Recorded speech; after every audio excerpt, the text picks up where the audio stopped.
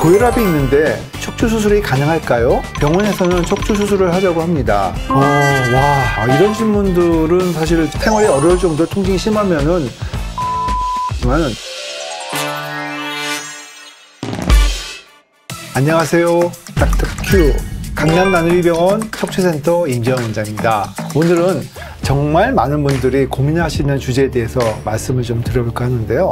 허리 디스크나 허리 통증으로 한 번 정도는 고생해 분들이 많으실 텐데 그때 가장 많이 걱정하시는 것이 바로 척추 수술인데요. 오늘 이 영상 정말 끝까지 보시면 많은 도움이 되실 것 같습니다. 척추 수술. 어, 와, 예상대로 척추 수술에 대해서 고민하시는 분들이 정말 어마어마하게 많네요. 척추 골절 수술 필요한가요? 하고 질문 주셨습니다. 만약에 척추 골절 수술을 하지 않으면 어떤 치료 방법으로 낫게 할 수 있나요? 어, 네, 요즘에 그 척추 골절이 예전보다 많이 줄었지만 그래도 뭐 교통사고라든지 뭐 추락사고라든지 뭐 여러 가지 원인 때문에 척추 골절이 발생이 되는데 척추 골절 무조건 다 수술하는 것은 아닙니다. 단순한 골절일 경우에는 보통 우리가 보조기라고 하는 한 2, 3개월 정도 착용만 하신다면 수술하지 않고도 골절 부위를 해결할 수 있습니다. 하지만 삼주 골절이라고 해가지고 전방 또 중간 부위, 후방 부위에 골절이 같이 발생이 됐을 경우에는 척추에 그 고정하는 핀을 박아서 고정하는 그 수술을 꼭 해야 됩니다. 그래서 척추 골절일 경우에는 반드시 다 수술하는 건 아니다. 수술하지 않고도 해결할 수 있는 방법들이 많다는 것을 꼭 기억하셨으면 좋겠습니다.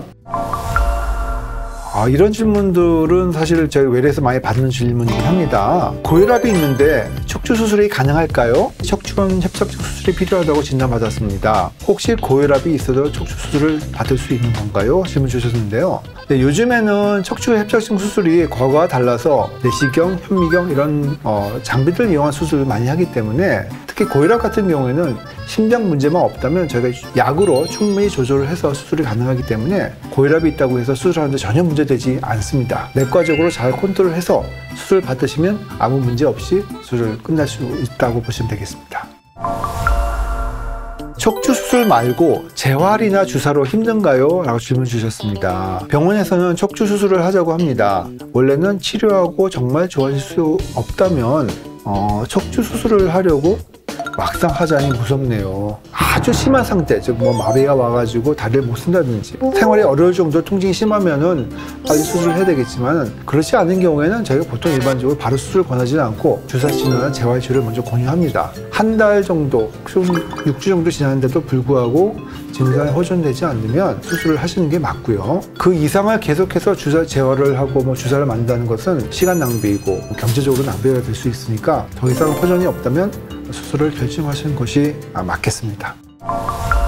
네, 척추 수술 후 걷기 운동 어느 정도까지 하면 되나요? 하고 질문 주셨습니다. 아, 제가 척추가 엄청 안 좋게 부러지고 마비 온다고 했다가 다행히 수술이 잘 돼서 이제 수술 후 3주 정도 됐는데요.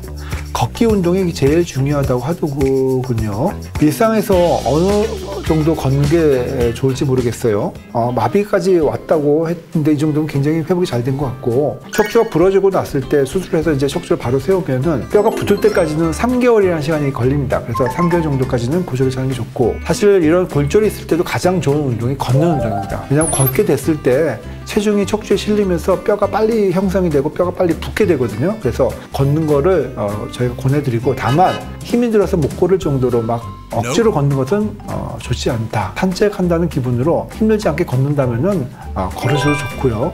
골절로 수술하는 경우에는 걷는 운동이 굉장히 도움이 되는 운동이다 보시면 되겠습니다.